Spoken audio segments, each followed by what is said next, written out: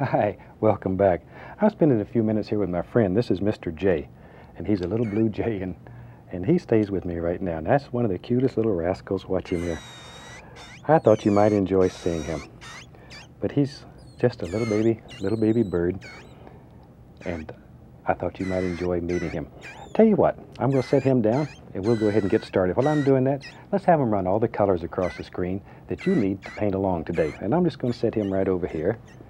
There you go. Okay. And while they're running the colors across the screen, let's go on ahead here and get started. I'm going to start out today. Take a tiny bit of the phthalo blue, and I'll reach right up here. I'll be right back, right back, and get a little bit of alizarin crimson. So I have phthalo blue and alizarin crimson. There we go. And you just mix these on the brush. And let's go right up here. I thought today maybe we'd just do a a happy little painting. I've already covered the canvas with a nice thin even coat of the liquid white, so it's all wet. It's ready. So we can get started now. Just using little crisscross strokes, we can begin just putting in a happy little sky. A little more of the color. There. And I'm just sort of varying the crimson and the blue proportionately so we have different mixtures. Some of it's a little bit to the reddish side, some's a little bit to the bluish side. I want this to be a very soft little painting today. Very quiet, very soft. There we go. And maybe right on over here. Just wherever you want them. Just putting some pretty little things in the sky. Still using little crisscross strokes. There. A little more of the crimson, a little more phthalo blue. Let's go right up in here. There we go. Just put those in. Yeah. Down to about like so. We really don't have to make any big decisions yet. Okay, let's wash our brush. And we'll scrub it with odorless thinner. And there's a screen here in the bottom of my can that I scrub the brush against. That allows the solid materials to sort of settle to the bottom. Shake it off. and just beat the devil out of it. Now then, that brush clean has got to be the most fun part of the whole technique. With a clean, dry brush, we can just blend this guy together. That's continually mixing with the liquid white. So all these beautiful little effects just happen automatically. And you can just, just blend it to any degree of lightness that you want. The more you blend it, the softer it's going to become. You sort of have to just make a big decision. Just blend it. Still using little crisscross strokes. Like so. Okay, then very lightly, just barely touching. We just go across, and that takes all the brush strokes out and softens, blends everything together. There. Now then, tell you what, let's have some fun.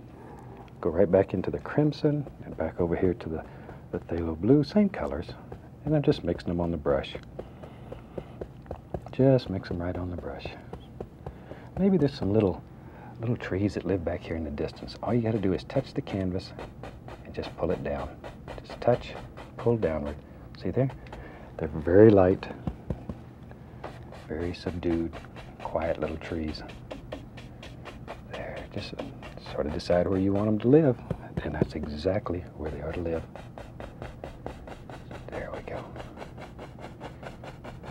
Wherever you want them. Isn't it fantastic that you can create a world that easy? Hmm. Maybe, maybe, maybe, right up here, like so. There. Hope you enjoyed my little friend. He's, he's quite a character. He's a little blue jay, he's just a few weeks old. On one of the earlier shows I had shown a robin that I raised and turned loose. And a lot of people wrote and wanted to know how he was doing. He's doing fantastic. We turned him loose. he's out living with all of his friends now. And in a few weeks, we're going to turn this little blue jay loose. Now I'm going to take a clean brush. I want to create the illusion of mist at the base of this. So very firmly, tapping with the top of the brush, just tap. This will create a very, very soft misty effect. Just tap it Really get in there and tap it. This is where you take out all your frustrations and hostilities. There. It's better than going home and arguing with your spouse. See there? Just tap very firmly and then lightly, lightly, just lift upward. See how soft and misty that becomes that quick. There we are.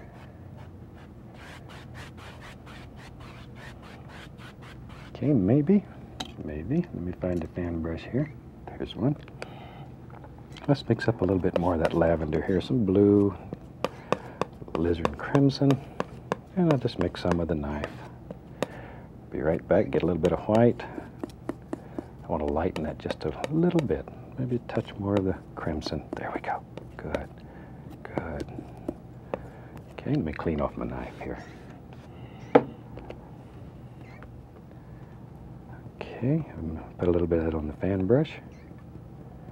Just work the brush back and forth.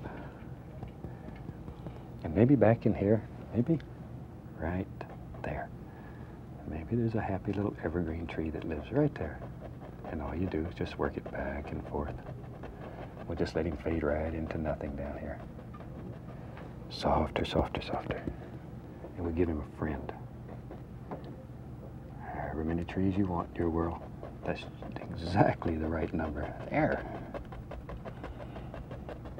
Okay. Maybe, tell you what, don't want this side left out.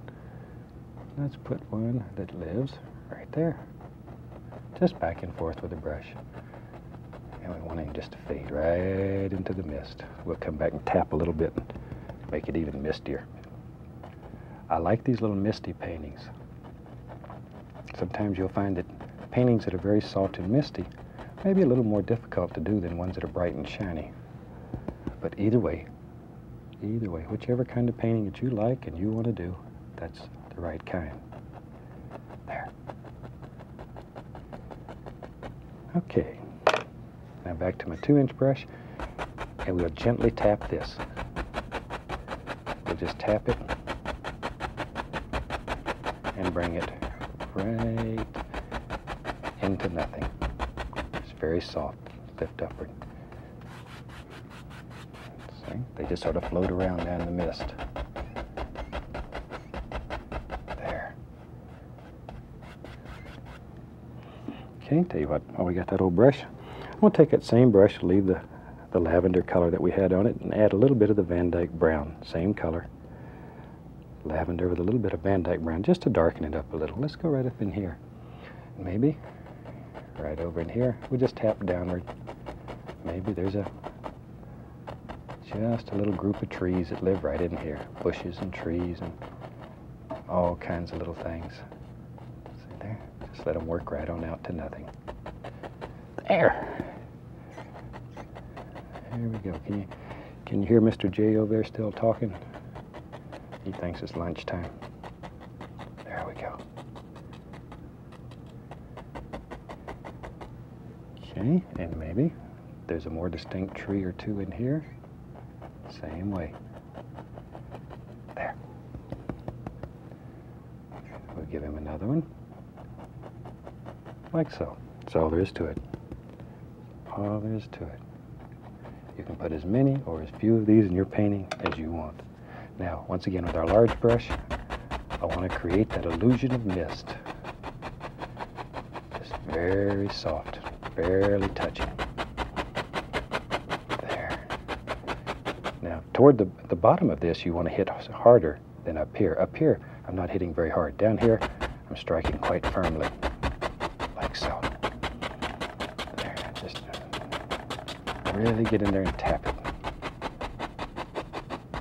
And then, once again, lift very gently upward. Maybe you want to put here and there the indication of a more distinct tree or bush. Maybe there's a different kind of tree. You, you can still just use the top corner of this brush. Just put in, see? Just tap it, turn it, so you build a general shape.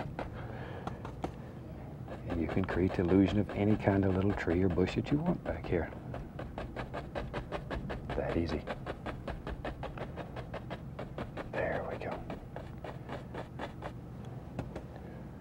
You can just pull downward Okay, The other side the brush is still pretty clean, so we can tap it. And once again, create that illusion of mist there. Hmm. Looks like it's maybe early in the morning and the fog hasn't been burned off by the sunshine. Very soft. Shoot, we're having so much fun. Let's just keep on going here. I'm just going to take the old two inch brush and tap it right into some of that same color. Just tap it like so. Okay, now then, maybe there's some land masses that live in here. Now you have to start making some big decisions. Where's your land live? Maybe, maybe. Yep, right along in there. All we're doing now is putting in a dark color so our light will show. You need dark in order to show light. Uh,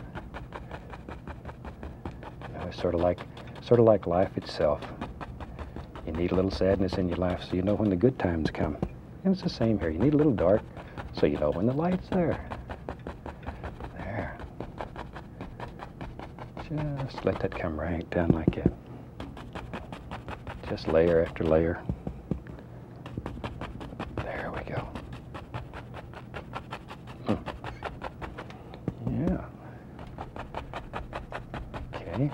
Here, same way. All I'm doing, once again, is just blocking in a base color here. Just blocking it in. Like that. A bit more there.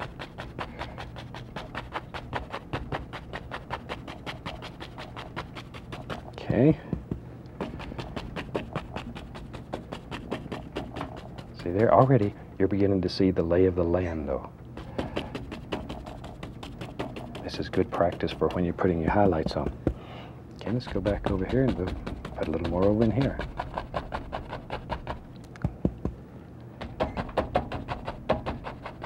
There we are. And that quickly, we filled up this whole area. Now you could just paint it on, but I find that it works better by tapping it so you can begin to make out all these little indications of the land flowing and moving here.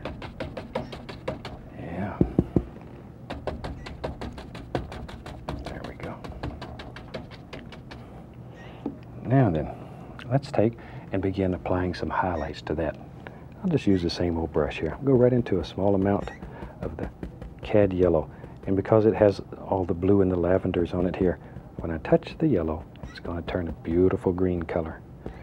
And tap the brush like that. Tap it. Load some color into the bristles, okay? Now then, here's where we begin putting on all the little highlights, the pretty part. See there? And all you're doing is just barely touching. I'm going to add a little bit of the yellow ochre and the Indian yellow. Maybe even throw in a little touch of bright red here and there as we paint along. Just to break it up and give it all kinds of beautiful little colors. But in your world, you sort of look at it and decide what you want. There. Maybe over here. There we go. We don't want this side left out. See there? Put all kinds of little things in there. Hmm. There's one. Wherever you want them to go. Just that easy. Okay. But all you're doing here is tapping, and the more you tap, the softer this will become. You can make it to where it absolutely just looks like velvet so soft. It's so pretty when you do it that way. And at home, you have more time than I do. You can take your time and do something that looks much, much nicer than this. There.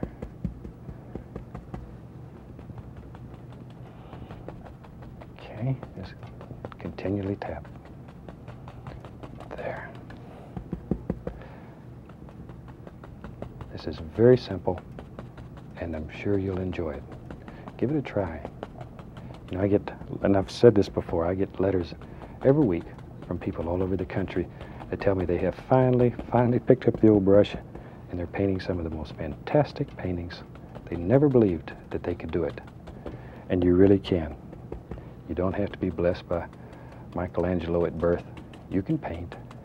All you need, is a little bit of equipment, somebody to show you how, and that's, that's our job. We show you how. And practice. You do need to devote a little time to practice. There we go. If you're like most of us, you didn't learn to tie your shoe on the first time you tried it. And it's the same here. With practice, it'll get easier and easier. There. Okay. Just bring it right on across like this. There.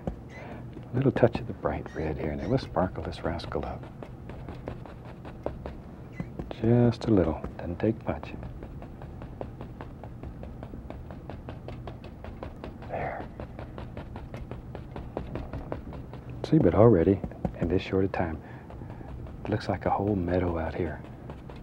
Just very soft. This would be a super place to take your shoes off and sort of just run through there barefooted and find you a big old tree and sort of kick back and just just enjoy God's beauty. There.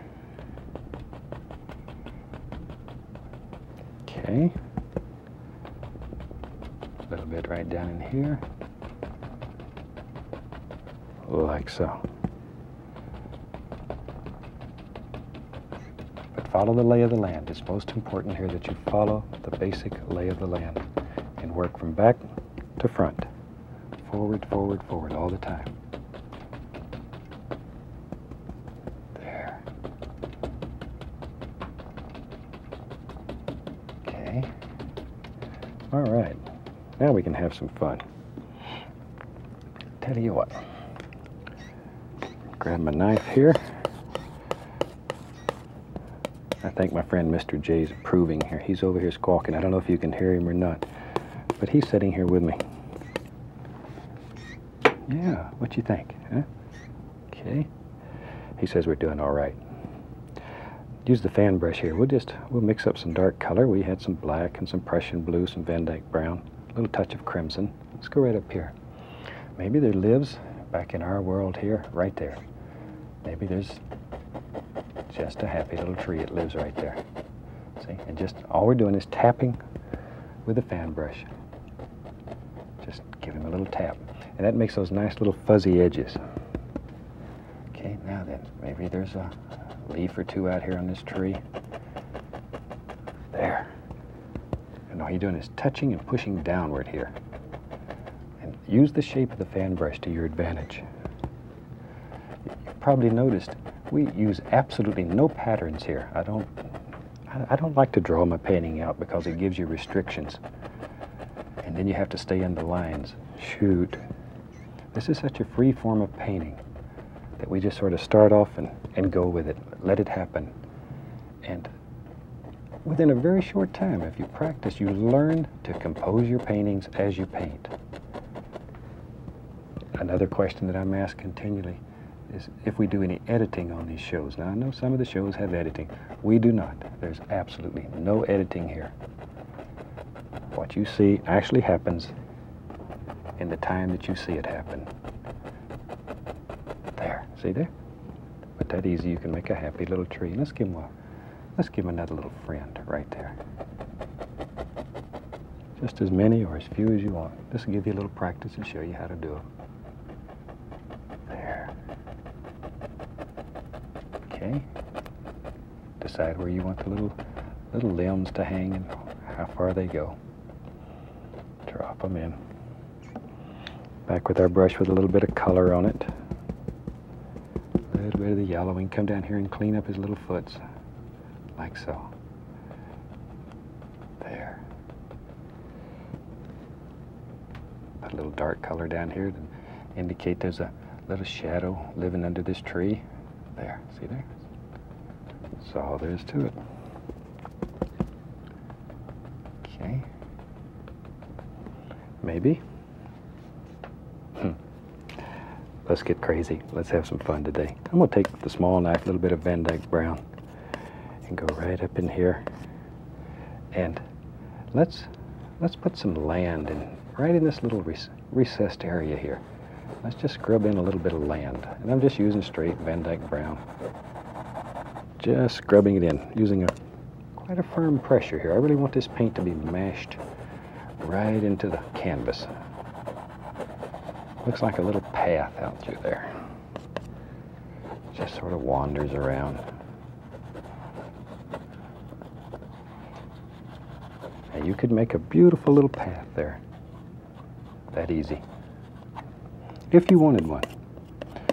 Once again, painting is such an individual thing. All we want to do here is show you how to do things.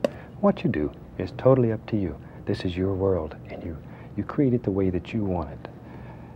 And if you like it, then it's right and it's good. Painting, as I say over and over again, painting should make you happy. If it doesn't make you happy, you're doing the wrong thing. I spent half my life doing a job that I really didn't want to do. And now, now I'm doing what I want to do. And now work is fun. And I've met so many fantastic people through the, through the joy of painting. And that may be the most fun at all. I've made friends that I, gee, I just, I just never, never dreamed. And that's super. There we go. Just put a little dark here and there. Okay. Now then, let me find the fan brush. Okay, we'll take a fan brush, we'll go right into our yellows, a little bit of green, load the brush full of color, a little yellow ochre. And let's go right up in here and let's just push in some happy little bushes that come right down in this little dirt area here. Just right down to the edges. That sort of brings it together. Like so. Just brings it all together. There.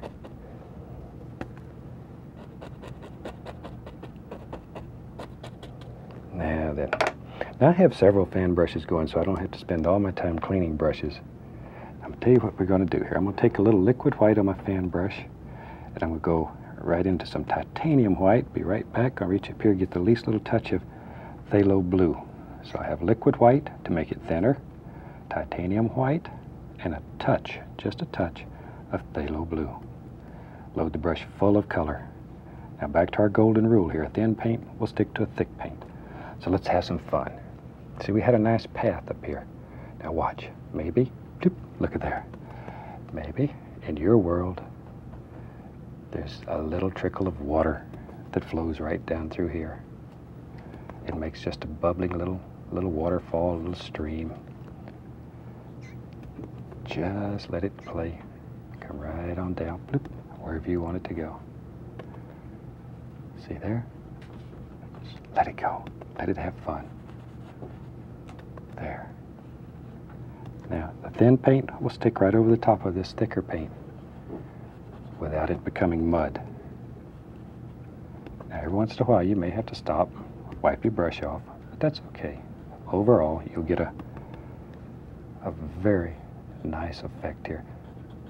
Look at that, just a little trickle of water is playing through the, through the meadow here, and it's just having a good time. Tell you what, let's have some fun, maybe. Go grab some Van Dyke Brown on the fan brush. Tell you, maybe, yep, right here. Let's just drop in a big tree, bigger tree. He lives right there. Little black, little brown.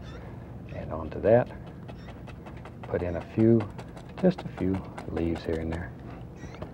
As many or as few as you want. Shoot, let's get crazy. You know me, I like these old big trees, maybe. Right there, be brave. This is your bravery test. Just brown and black. You don't have to be too careful here, just, just sort of knock it in. Tell you what, while we got that brush going, let's put a tree on the other side. Come right over here with me. And, right here lives a big old tree. See, all you're doing is just firmly tapping.